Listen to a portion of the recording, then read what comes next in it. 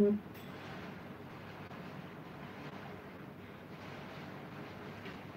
Mm-hmm.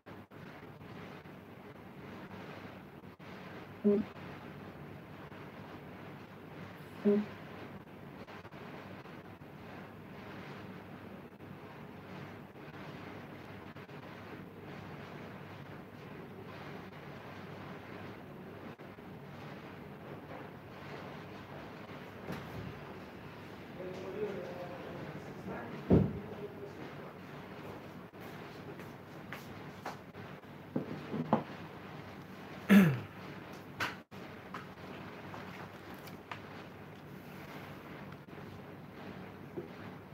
Ayun guys, maraming maraming salamat sa iyong pagsama muli sa aking uh, live streaming ngayong araw na to.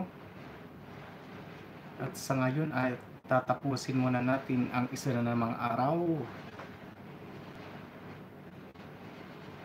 Ayan, maraming maraming salamat sa mga bumisita sa akin. Sa mga nandyan pa, maraming maraming salamat. Sana samahan niyo muli ako bukas sa parehong oras, alauna ng uh, hapon Qatar time and alas 6 ng gabi sa Pilipinas time. Salamat guys. Adjourn. Bye bye.